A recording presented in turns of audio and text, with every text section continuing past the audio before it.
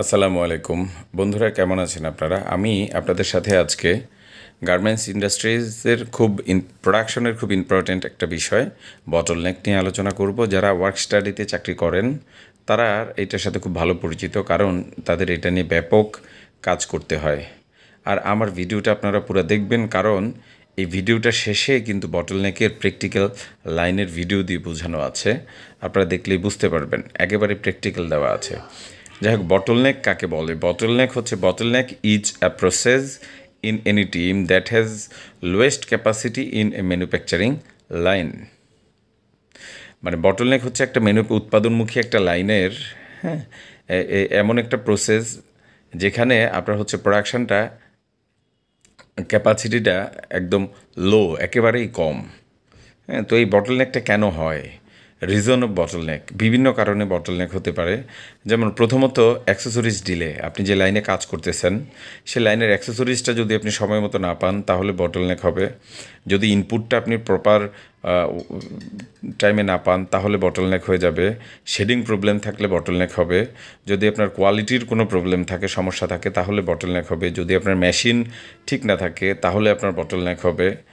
হ্যাঁ তারপরে আপনার যদি রং স্টিকার, আপনার ফ্রন্ট পার্ট ব্যাক পার্টে যদি রং স্টিকার অ্যাটাচ করা থাকে, তাহলে আপনার বটল নেক হবে। হ্যাঁ লাইন ব্যালেন্সিং নট প্রপার যদি আপনার লাইন ব্যালেন্সটা প্রপার না থাকে হ্যাঁ আপনার অপারেটারদের হ্যাঁ সেট আপটা যদি প্রপার না থাকে, তাহলে বটল নেক হবে। রং অপারেটার সিলেকশন আপনার প্রসেসে যদি আপনি প্রসেস ওয়াইজ অপারেটার সিলেক্ট না করেন, তাহলে আপনার বটল নেক থাকবে। তো এই বটল নেকগুলি কীভাবে রিমুভ করবেন, সেটাই আমি আপনাদেরকে দেখাচ্ছি। ঠিক আছে, দেখেন আপনার এই বটলনেকটাকে আপনি যদি দেখেন এইটা একটা প্রোডাকশন লাইন আমি আপনাদেরকে এটা দেখানোর চেষ্টা করতেছি। এই যে এটা হচ্ছে প্লেন মেশিনের এইখানে তিন চার পিস বডি আছে। তারপরে দেখেন এইটা হচ্ছে একটা ওভারলক মেশিন এই ওভারলক মেশিনের যে অপারেটর বসে আছে তার ওখানে দেখেন একদম পোলো শার্টের যে গার্মেন্টসটা সে সুইং করতেছে, সেটা স্তূপ হয়ে আছে। এই যে স্তূপটা এখানে হয়ে আছে, এখন এইখানে বিভিন্ন কারণ থাকতে পারে। আমরা একটু আগে যেটা পড়লাম যে অ্যাক্সেসরিজের সমস্যা থাকতে পারে। যদি আপনার সময় মতো সে অ্যাক্সেসরিজটা না আসে, এখানে level main level size level care level না আসে, তাহলে এখানে এই বডিগুলি সে করতে পারবে না। যদি হ্যাঁ আপনার ইনপুটটা সে ঠিক মতো সময় মতো না পায় পিছনের অপারেটর থেকে, তাহলে এখানে সে সময় মতো সাপ্লাই দিতে পারবে না। হ্যাঁ যদি আপনার বডির এবং হচ্ছে স্লিভের হ্যাঁ আপনার স্টিকারটা ঠিক না থাকে হ্যাঁ এক না থাকে, তাহলে সেইখানে স্লিপ জয়েন্ট করতে পারবে না।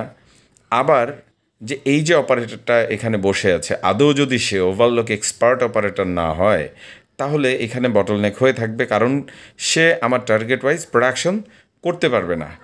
তো এইটা হচ্ছে বটলনেকের অন্যতম কারণ। তো আমরা যদি এখানে ভালো অপারেটর দিই অ্যাক্সেসরিজটা ঠিকমতো দেই হ্যাঁ এবং এই এই যে স্টিকার মিস্টেক আমরা কঠোরভাবে কন্ট্রোল করি, তাহলে কিন্তু এখানে বডিগুলি জমবে না। দেখেন, এই যে সামনে যে অপারেটর ফ্যাটলকের সে বডি হ্যাম করতেছে, তার মেশিনটা কিন্তু খালি।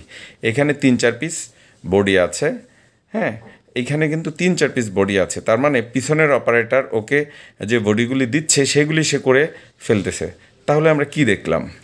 যে প্রথমে যে মেশিনটা দেখলাম, ওখানে তিন চার পিস বডি আছে।